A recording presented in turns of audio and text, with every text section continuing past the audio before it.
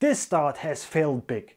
The announcement of the merger of Lucid Motors with the special purpose acquisition company SPAC for short, Churchill Capital causes disillusionment among investors on Wall Street. The price of the listed shell collapses by over 40%. What happened and what are the future plans of Lucid Motors and if you should invest, I will explain in this video, so stay tuned and stick to the end.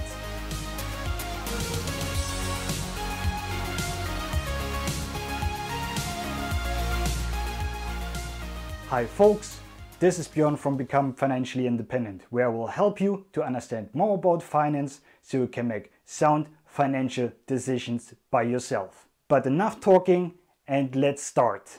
On Wednesday afternoon, the shares held ready for Lucid Motors went down by almost 7% to $32.85, which is 42% in the last two meetings. Before the deal was announced, CCIV shares had risen over 470% since January 11th, hitting a record high of 64.86 on February 18th. Just last week, I suggested that I wouldn't be surprised if this ended up being a buy the rumor, sell the news situation. That refers to a common phenomenon in the market when an event fails to live up to the expectations. Here's why investors may be disappointed in the deal. So Evan Niu market analyst from the Motley Fool. According to Niu, valuation concerns also led to the huge sell-off. At a closing price of around $57 before the announcement, Lucid's implied market capitalization would be an incredible 91 billion even though the company has not yet delivered a single car, said the expert. The US electric car maker Lucid Motors announced in the press release on Tuesday that it is going public with Churchill Capital, SPAC, which is managed by former Citigroup manager Michael Klein. The acquisition by CCIV is expected to be completed in the second quarter of this year. The transaction values the new company at 11.75 billion. CCIV brings 2.1 billion in cash and a fully committed pipe of 2.5 billion at $15 per share, which should give the combined company an overall valuation of 24 billion. With the pipe transaction and Churchill cash, Lucid Motors is expected to generate 4.4 billion in cash, the two parties said. The pipe deal where the investors involved get their shares for $15 was also of the reason CCIV stock has been so badly damaged in the past 24 hours. Ultimately, this dilutes the shares of the previous CCIV investors. As soon as the deal goes through in the second quarter, investors should turn their attention from the merger structure to whether the electric cars manufactured by Lucid Motors are competitive in the automotive industry, said Evan Niu. So, but what are the plans for Lucid Motors?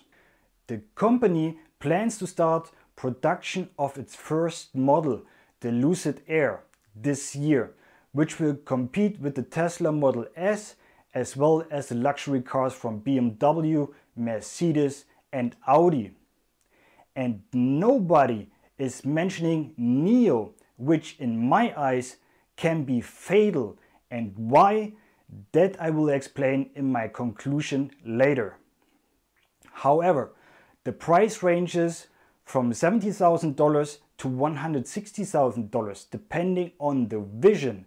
Lucid is aiming for sales of 20,000 vehicles in the coming year and a large SUV off-road vehicle is to be added in 2023, which will be built on the same technical platform. By 2026, the company plans to sell 250,000 vehicles annually and generate around 23 billion in sales. The plant in the US state of Arizona is designed to produce 365,000 vehicles per year. And there is a lot of Tesla in Lucid. then the Lucid boss Peter Rawlinson once played a central role at Tesla in the development of the Model S. He will remain at the top even after going public. Lucid's management team includes as well several former Tesla managers such as production expert Peter Hochholdinger, who once moved from Audi to Elon Musk company.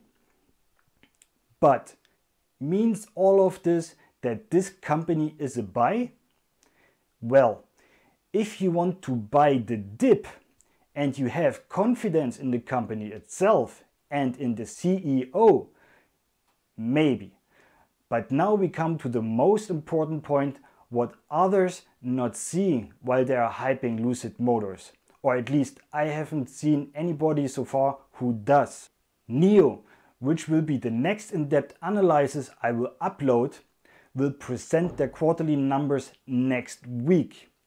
And they are doing the exact same and already attacking the luxury market. And they actually already building cars. And the next to it, they're building a luxury brand with their NIO houses and many other things. And they already expanded in Europe. And the US for sure will be the next. What I actually want to say with that is that the market is highly competitive already and there are already big players outside. So for me, as I'm already heavily invested in BYD, and if you want to check out the full analysis of BYD, I link it up here. But be aware, they went down 20% as well right now. And for not to overweight my portfolio in the electric car makers and losing my diversification, I will not invest in Lucid Motors. But that is just me. But if you want to buy, consider what I said before that the market is already crowded and Lucid Motors attacks the same market as NIO and has the disadvantage that they actually not even building cars yet. So it's hard to predict who will be the winner of all of them, right? But if you bought already shares, I would hold them as I hope you did your research prior and not just invested because of the hype. And therefore you trust in the company and in the CEO. But let me know in the comment box below what you ladies and gentlemen think. That being said, nobody can predict the future to 100% except your name is Marty and you have a DeLorean. Hence, everything can happen, but I hope I could help and if you don't mind, give me a thumbs up and subscribe to this channel so you don't miss the future videos. Have a great day everyone. Thanks for watching. Focus and don't get greedy. See you next time.